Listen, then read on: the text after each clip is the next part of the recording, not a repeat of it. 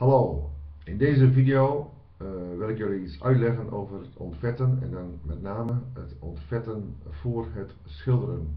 Het ontvetten voor het schilderen is gewoon ontzettend belangrijk en is eigenlijk de eerste werkgang. En je weet zelf wel, hè, we praten eigenlijk over het buitenschilderwerk. Je moet natuurlijk binnen ook hout ontvetten. Met name met buiten heb je een snellere hechting van vuildeeltjes. Hè, onder andere door regen door stof wat door de lucht gaat en met de, met de wind meekomt.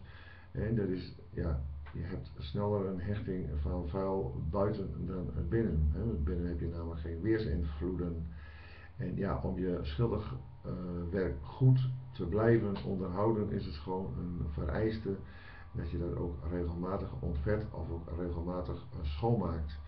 En als je uh, het goed wil doen, dan doe je dat gewoon twee keer per jaar. Je gaat twee keer per jaar al je houtdelen ontvetten. Dat zijn in het voorjaar en het najaar. Dus ook de windveren. En dat zijn die planken naar boven bij de dakpannen langs. Die planken eronder, dat zijn dan de boeidelen. De daggoten, kozijnen, ramen, deuren. Ga echt alles goed ontvetten en doe dat, dat gewoon twee keer per jaar. Ik begrijp het natuurlijk goed. Je hebt natuurlijk met hoogtes te maken. Laat het eventueel doen. Natuurlijk kunt je beter zelf uitvoeren. Hè. Daar bespaar je dus gewoon mee. Maar als je hoogtevrees hebt, of ja, ik kan me voorstellen dat je dat zelf niet durft. Maar je kunt in ieder geval de, lage delen, hè, de kozijnen beneden, de ramen beneden, de daggoten eventueel die niet hoog zijn. En je kunt zelf doen en dan zou je zeggen, kunnen zeggen dat het hoge kun je dus uitbesteden, het zij aan een vriend of aan een schoonmaakbedrijf. Goed, daar moet natuurlijk wel een budget voor zijn. Maar goed, probeer het gewoon liefst te doen. Maar het is gewoon essentieel dat je gaat twee keer per jaar gaat ontvetten, hè, gaat schoonmaken al je schilderwerk en daar heb je dus een langer behoud mee van je schilderwerk. Ten eerste, je hoeft niet sneller te schilderen en ten tweede, het geeft een mooie uitstraling en als het schoon is, kijk je er weer fris tegenaan. En het geeft ook een voldoening. Nou ja, ontvetten is gewoon belangrijk. Wat is de functie van ontvetten? De, de functie van ontvetten is dat je gewoon een, goede hechting krijgt van de laag die er later op komt. Het zij een laklaag, zij een grotlaag, het zij een primer. En, maak niet de fout dat je eerst gaat schuren en dan gaat ontvetten. Want als je nou eerst gaat schuren, dan schuur je het vet mee in het hout. En in het hout zitten allemaal minuscule kleine poriën en die gaan, het vet gaat daarin zitten. En als je daarna gaat ontvetten, dan krijg je het vet er niet meer uit. Dat betekent dat je dus geen goede hechting krijgt en later kan zelfs de verf loslateren in de vorm van afbladderen. Dus er is gewoon één regel en wijk daar nooit van af. Eerst ontvetten, dan schuren. Dus eerst ontvetten, dan schuren. Bedenk er maar een ezelbruggetje bij, mijn paard OS, ontvetten, schuren, maak er maar van, maar dat is gewoon één regel. Goed, waar doe je dat dan mee? Nou, wij, ik ben al meer dan 20 jaar schilder.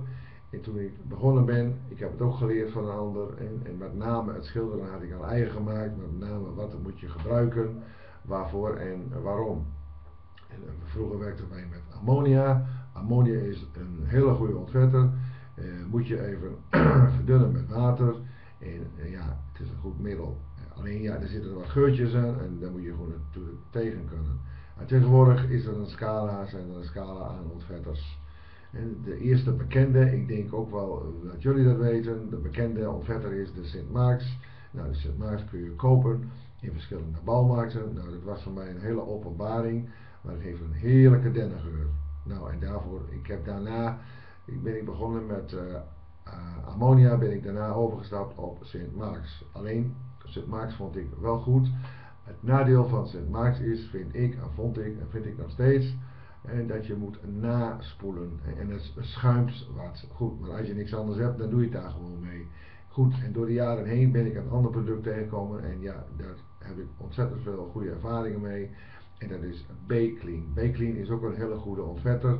Alleen de voordelen ten opzichte van Sint Marks is dat hij niet schuimt. En je hoeft niet na te spoelen. Dus het scheelt je gewoon enorm veel werk. De verhouding is 1 op 100. Hè, dat betekent dus 1 deciliter op of 1 liter uh, uh, op 100 liter water. Dat betekent dus op, op een emmer van 10 liter dat je dus 1 deciliter moet toevoegen en dan kun je daar goed mee ontvetten. Nou, het is ook nog eens een keer biologisch afbreekbaar dus het is ook nog een keer goed voor het milieu. Goed, er zijn natuurlijk uh, meerdere ontvetters die je online kunt vinden. Heel veel verfmerken hebben hun eigen ontvetter. Ik heb daar geen ervaring mee. Wat ik wel door de wandelgangen heb gehoord, dat een Dusty, die komt volgens mij bij de Vibra weg. Dat moet ook een goede ontvetter zijn tegen een goede prijs. Ik zou zeggen, gewoon, probeer het gewoon uit. Maar als ik naar mijn ontvetter kijk, Clean, is, valt, de prijs valt dan ook wel mee. Daar heb je gewoon een goede ontvetter mee. Kun je gewoon goed bewaren. Kun je ook lang bewaren. dus als je dus twee keer per jaar je hele huis, al je, je houtwerk gaat uh, ontvetten, is het ook de moeite waard om Clean aan te schaffen. Goed, er zijn nog meerdere, nogmaals, ik heb eerder een keer een blog geschreven over een autoshampoo. Ik was daar ter plekke aan het werk en werd getipt door een buurman van hij deed, al, dat al jaren met een autoshampoo. Goed, er zijn genoeg mogelijkheden. Ik heb daar een blog over geschreven en die kun je vinden als je rechtsboven in mijn blog of op mijn website gaat. Dan heb je een zoekfunctie, typ daar maar in autoshampoo en dan kom je daar vanzelf op terecht.